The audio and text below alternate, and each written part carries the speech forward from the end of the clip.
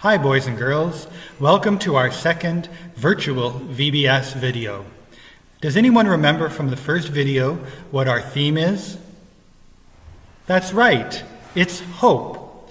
It's important to have hope, and it's important for our hope to be in the right place. My family and I like to go for hikes outside. Does anyone else like going for long walks outdoors? Well, imagine we are going for a walk in the woods and we come across a stream. And across the stream, there is a bridge. And we take a look at the bridge and we realize that it's a very old wooden bridge.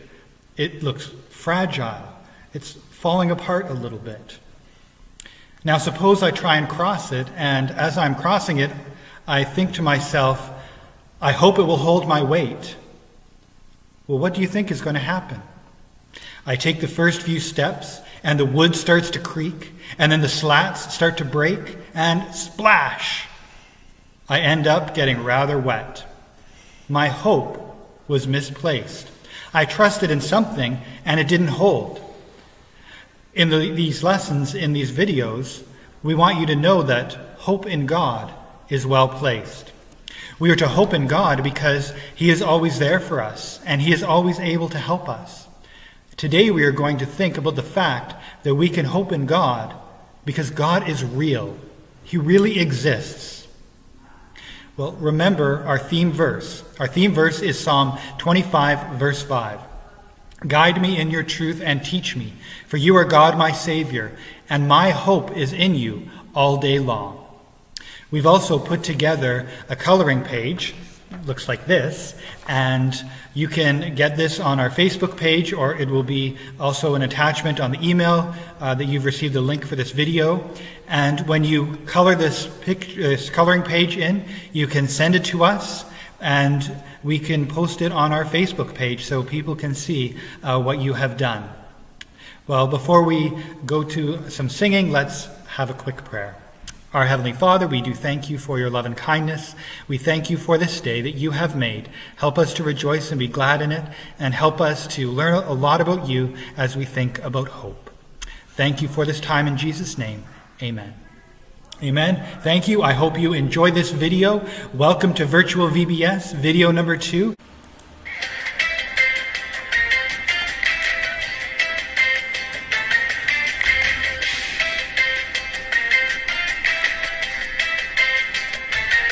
He's got the whole world in his hands. He's got the whole world in his hands. He's got the whole world in his hands. He's got the whole world in his hands.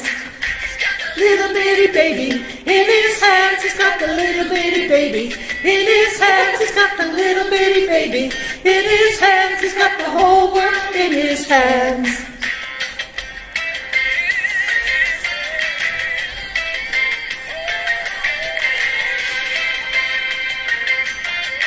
He's got you and me, brother. He's got you and me, brother. In his hands, he's got you and me, sister. In his hands, he's got you and me, brother. In his hands, he's got the whole world in his hands.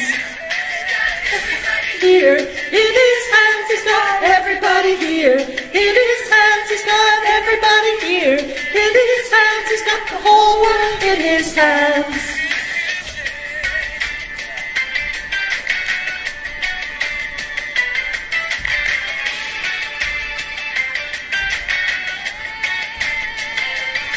He's got the whole world in his hands. He's got the whole wide world in his hands. He's got the whole world in his hands. He's got the whole world in his hands. The whole world in his hands. He's got the whole world in his hands. He's got the whole world in his hands. He's got the whole world in his hands. He's got the whole world in his hands. He's got the whole world in his hands.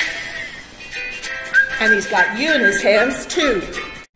Hi, boys and girls. I hope everybody's staying nice and cool today. Uh, the verse today is Psalm 62, verses 5 and 6. Let all that I am wait quietly before God, for my hope is in him. He alone is my rock and my salvation, my fortress where I will not be shaken. Hello, everybody. How are you doing today? Today is day two of VBS, and I get to share with you a story about how our God is the one true God and that God is real. And because He is real and He's the true God, that gives us hope. I, we're going to talk about a story in the Bible from 1 Kings chapter 18, and it starts around verse 15. But I want you to read the whole chapter get your parents to help you or an older sibling, or if you're good at reading, then you read it eh, because it is so exciting. But I get to tell you this one bit of it. And it's about a, a prophet of God whose name is Elijah and a king. His name is Ahab. King Ahab was not doing what a king should be doing. He was encouraging his people to worship a thing called an idol whose name was Baal. So it was nothing. It was just a thing. But people were worshiping it and putting all their faith in it and, and, and giving stuff to it. And Elijah said that God wants them to make a decision. If God is the one true God, worship him. If Baal is the true God, then worship him. Just make a decision. So Elijah said to Ahab, let's have a contest. The people can make their own decision. We are going to go to Mount Carmel and you call those 450 prophets of Baal, and they'll make an altar, cut a cow, put it on the altar. I'll do the same, and we'll call upon our gods. You guys can go first and see whose God can bring down fire, consume that altar. That's what you do on an altar is you, you set it on fire. We'll call them to set it on fire. So you guys go first. Go ahead. So they, the prophets of Baal, this idol, made their altar, cut the cow, put it on there, and they started calling upon their, their God. Oh, they were dancing about and praying and hands up, and oh, they were moving around doing all sorts of weird and wonderful things. For hours, nothing happened. Not even a breeze, not even a whisper, nothing.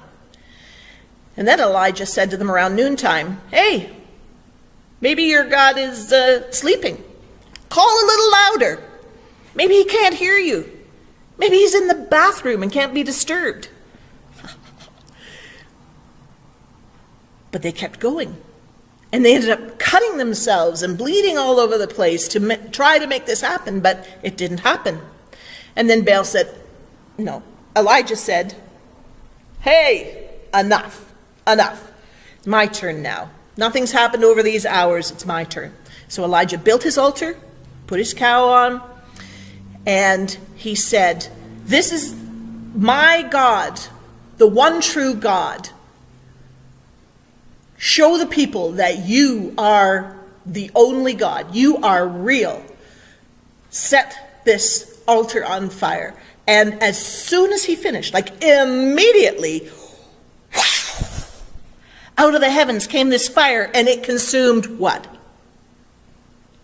Everything, everything.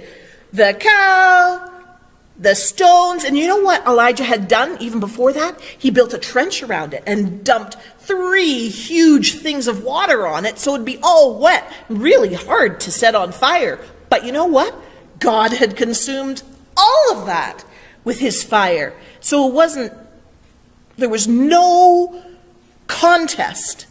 It, there was no saying anything else but that was the one true God. And that's what all the people said. God is the one true God. The God of Elijah is the one true God. He is real. And I want you to know that He is real for you. He's real for me. And He can help you with all of the things that are happening in your life right now. You can have that hope. He is real. He will help you. Okay, We'll talk again. Bye.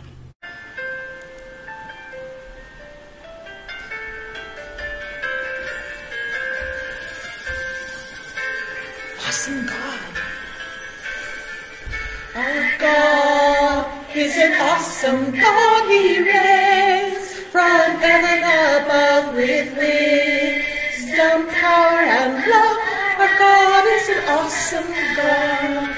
Our God awesome God. He reigns from heaven above with wisdom, power, and love. Our God is an awesome God.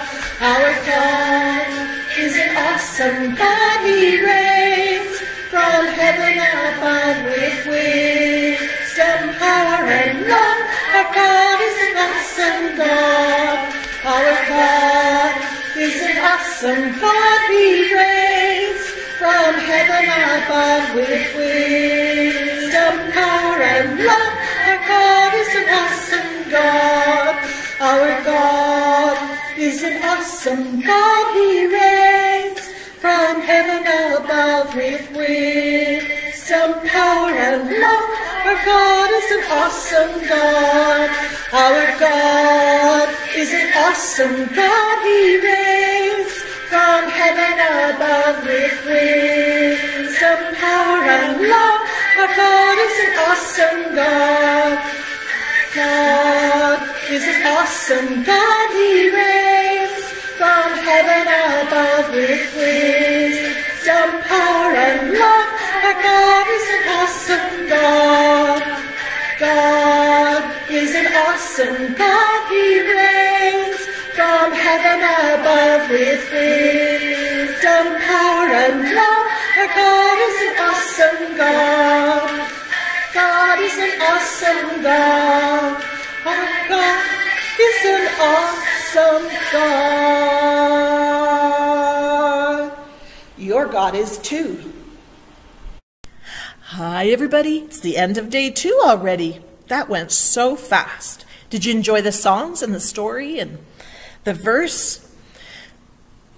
I want you to send back your pictures and we'll put them up on our page, okay?